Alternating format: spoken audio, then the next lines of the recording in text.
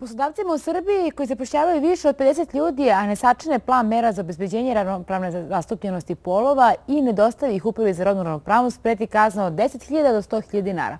Gost emisije Srbije online je gospođa Natalija Mićunović, direktorka uprave za rodnu ravnopravnost. Danas ćemo s njom nešto malo više razgovarati o zakonu o rodnoj ravnopravnosti, ali u svemu ostalom o čemu vodi e, brigu uprava za rodnu ravnopravnost. Dobar dan i dobrodošli. Hvala godinu dana od donošenja zakona o rodnoj ravnopravnosti. Kako ste zadovoljni vi primjenom zakona? Pa moglo bi bolje u smislu da očekujem da se neko na njega pozove. Znate, zakon najbolje živi tako što se e, populariše pa se onda neko pozove na njega i kaže ja sam diskriminisana, na primjer, i pozove se na zakon, to je zabranjeno zakonom o ravnopravnosti polova i kad budemo imali neke presude o tome, o čemu smo godinu dana inače običani rok za zakone da se naprave podzakonska akta i mi smo napravili pravilnik o presudama, o evidenciji presuda, da se tako bolje, tačnije izrazim, i e, pravilnik o planu mera za postizanje rodne ravnopravnosti u preduzećima kojima je više od 50 zaposlenih. Da, neki tvrde da je velika manjkavo zakona u tome što sadrži odbredbe deklarativne prirode. Sasvim sigurno da je bolje kad zakoni sve uređuju potpuno um, mandatorno, međutim to nije uvek moguće i nije baš uvek ni dobro. A naravno zakone se inače donose u jednom kompromisu uh, želja jednog uh, stava koji je feministički stav i moj da treba da bude što deklarativnije, da budu što tvrđe kvote, da postoji paritet, da žene zaista postignu svoje ravnopravno mesto u svemu i otpora upravo oni koji glasaju o zakonu. Podsjetim da se zakoni donose u Skupštini. Mi smo izradili predlog zakona, međutim konačna verzija zakona je ona koja zavisi od toga koji su amadmani prihvaćeni, a koji nisu od strane članova Skupštine. Dobro, da li su za ovih godinu dana obezbeđeni valjani instrumenti kako bi se omogućilo praćenje e, kako se zakon primenjuje? Da, da, to su upravo ta dva pravilnika koje smo izradili i sistem evidencije koji ćemo uvesti kada dobijemo prve podatke o presudnom i prve pravilnike. Mi smo inače izradili e, strategiju za poboljšanje položaja žene u napređivanje rodne ravnopravnosti koje je vlada usvojila, a onda je vlada usvojila prošle leta i akcijni plan za sprovođenje te strategije. Mi smo upravo sada izradili i jedan e, sistem praćanja. Mm, pošto je akcijni plan za poboljšanje e, za sprovođenje nacionalne strategije za poboljšanje položaja žene u napređivanje rodne ravnopravnosti veoma širok u broju da tako kažem, onih čije je mandat da izvršavaju delove tog akcijnog plana koji je vlada usvojila tako da razna ministarstva u tome učestvuju, razne institucije i nevladine organizacije i mi ovaj, srađujemo sa svima njima, imamo jedno koordinacijeno telo u kome oni svi učestvuju i polako znači, prodiremo u sve segmente društvenog života. I to je upravo dobro vidjeti veliku koheziju u toj grupi, E, koje polako u početku su ljudi koji su iz raznih ministarstva, na primjer unutrašnjih poslova, e, spoljnih poslova, e, zdravstva, ekonomije, koji su svi ulazili u to sa nekom skepsom, sa nekim interesovanjem za to, ali sa nevericom da ćemo daleko odmaći, Uh, da su za ovih par godina, eh, jer oni su učestvili u samoj pripremi akcijnog plana kao i mnoge nevladine organizacije koje su donale ogroman doprinos i samom ovom akcijnom planu, a i ranije naravno mnogim aktivnostima u zaštiti žena od nasilja, u unapređenju ženskog zapošljavanja i tako dalje. Eh, tako da eh, sada vidimo već jedno bolje razumevanje te problematike i povezanosti raznih aspekata. Gospodin Natalija, ko vodi računa da li se zakon sprovodi neko kako treba? Uh, pa, morali, morali bi da kažemo svi mi. Uh, zato što da bi se zakon sprovodio kako treba, mi uh, smo još uvijek u fazi kada pokušavamo što više da ga popularišemo, da što više ljudi bude svesno svojih prava. Kod nas je, čini mi se, nedovoljan e, stepen e, svesti o tome koji su zakoni postoji, na što se sve mogu pozvati pojedinci. Mi za sada nemamo po našim saznanjima ni jedan slučaj da je neko se pozvao na zakon o ravnopravnosti polova, znači da je rekao da je žena najverovatnije, je li tako, mada je mogući muškarac, naravno, da je diskriminisana i da se poziva na zakon zbog toga. Tako da... Da li to znači da naši ljudi ne znaju šta je zakon o rodnoj ravnopravnosti? Da li, da li mi je možda potrebna neka edukacija ljudi kako bi... Mi se trudimo što više da edukujemo ljudi da učestvujemo u raznim promocijama, da imamo publikacije i tako dalje. E, mislim da postoji jedna velika potreba da se to negira. Ja sam bila u Vranju pre dva dana. Ovaj veliki projekat e, o miru i razvoju, projekat cele vlade i sa mnogim međunarodnim organizacijama mira i inkluzivnog razvoja na e, jugu Srbije.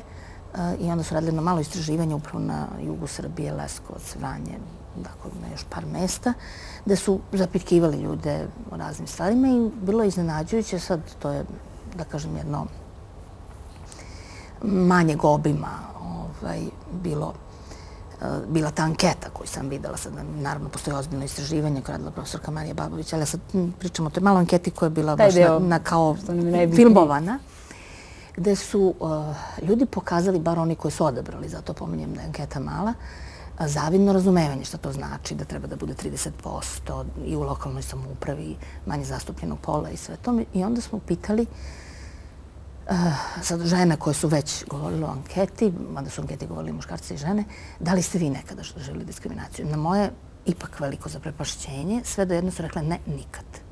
Ja nikad.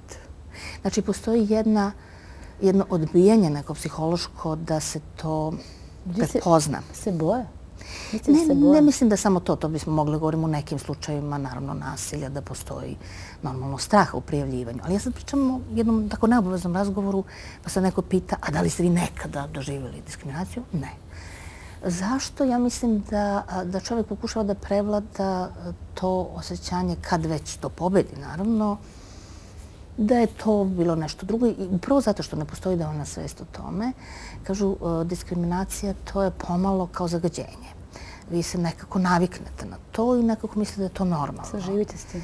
Da je to normalno i nekako ne doživljavate da je to diskriminacija što uporno su promovisani samo muškarci, pa samo oni napreduju, pa su nekako uvijek oni šefovi, pa oni ne prosudaju kod kuće, pa više zarađuju. Ne doživljavate to tako, možda je neko brkanje pojma diskriminacije sa pojmom zaista zlostavljanja, gde to ipak ipak nešto e, očiglednije. E, tako da jeste to se dešava da ljudi to ne prepoznaju. A možda dešava se i to i kad prepoznaju to se ne dokazuje lako. E, jer jako često su subtilni metodi koji su van e, oka javnosti, van mogućnosti kasnijeg dokazivanja. Ako neko nešto šapne, ako nekako vidite iz posredno iz ponašanja da niste podjednako vrednovani, nije jednostavno to formulisati, artikulisati kao, kao diskriminaciju. Prema zakonu o ravnopravnosti polova, poslodavci su dužni da među zaposlenim imaju najmanje 30% manje zastupljenog pola, to ste rekli i vi. Bez obzira da li su oni muškarci ili žene, prema poslednjim podacima, da li poslodavci poštuju ovo?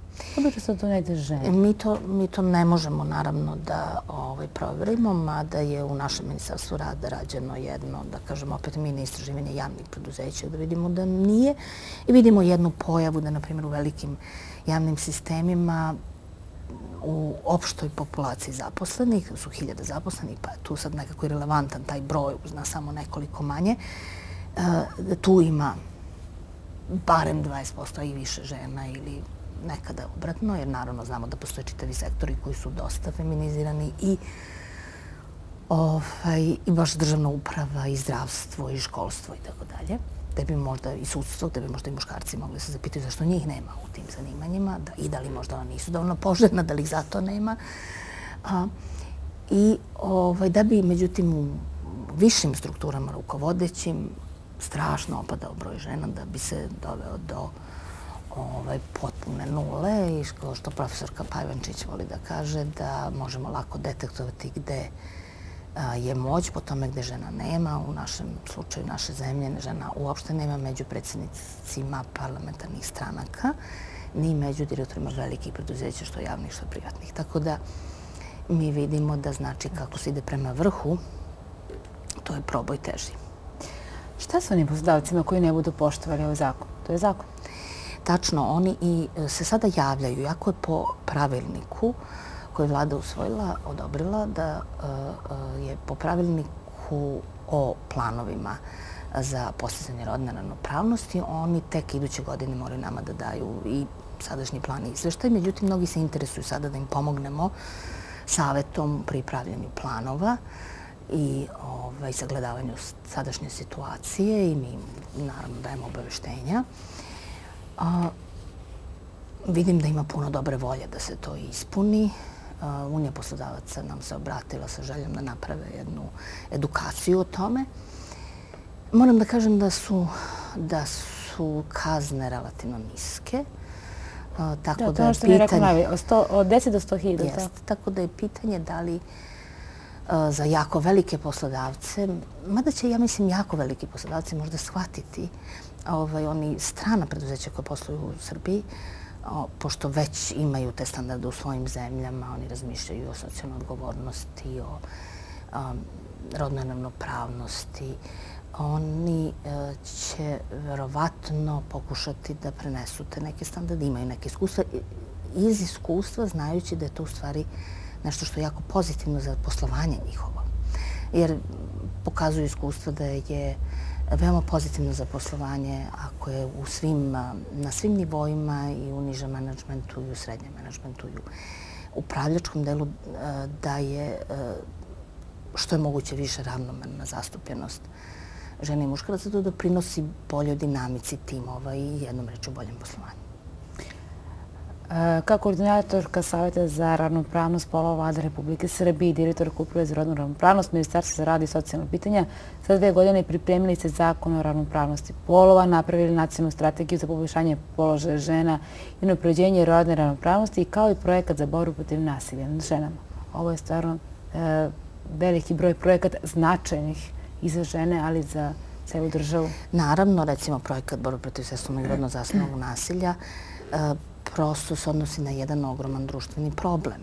Nije to samo zaštita žena, prosto moramo na neki način pomoći sistemskom rešavanju tog problema.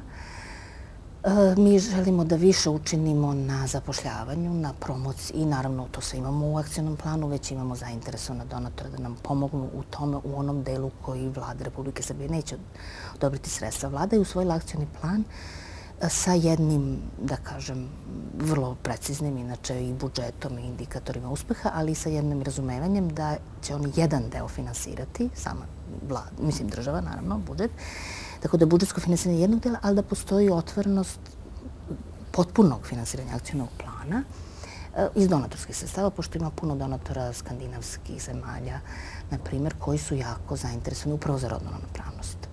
Jer je to jedna od glavnih eh, tačaka njihove strategije razvoja njihove zemlje, njihove želje za pomoć ovde.